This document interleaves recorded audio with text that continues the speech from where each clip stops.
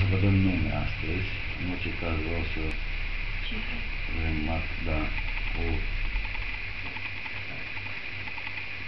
influență masivă de colegi. E foarte bine.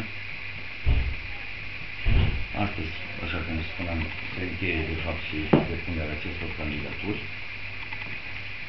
Așteptăm până la biroul permanent județean care se va desfășura astăzi la orele 17, inclusiv la ora 17, deci vom opri această listă.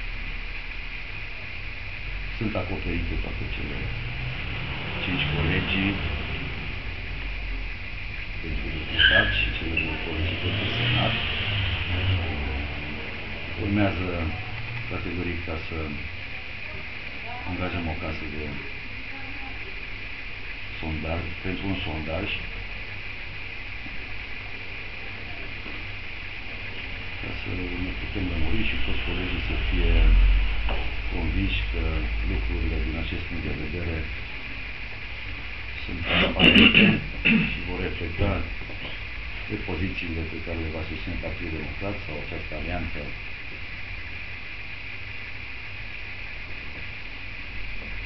Care se va crea în perioada următoare, cei mai buni clasați în aceste sondaje.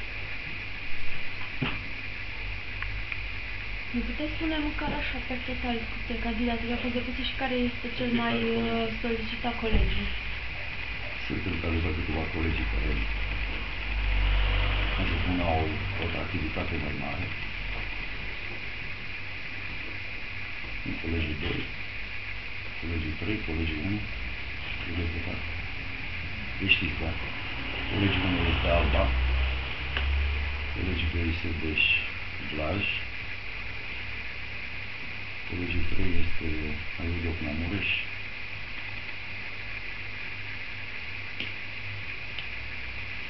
la Senat, sigur, sunt uh, probabil mai puțin colegi care se înghesuie pentru că efortul va fi mai mare, cel puțin pe colegiul 1, efortul la 50 de unități administrative în care lumea se cunoaște și că și procesul este mai, uh, mai dificil, dar există și membrii PDL care doresc acest. Și câte, câte uh, candidaturi au fost depuse până acum, dosare?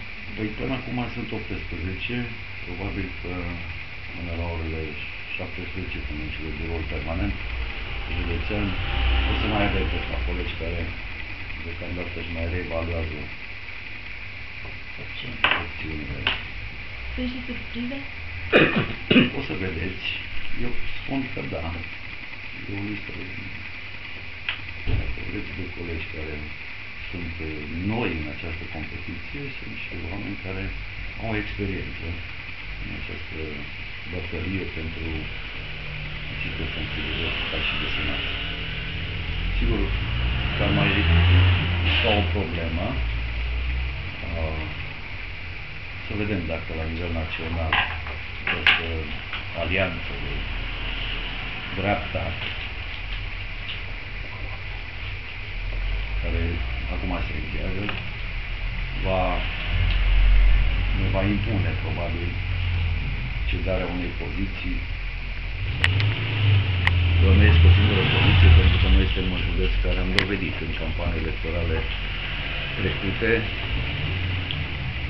din punct de vedere al Partidului Democrat o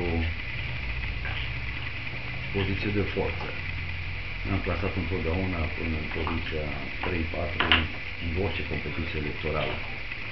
Dacă vreți și în această competiție neapărat electorală, trebuie să sunt referendumul privind demiterea președintelui României.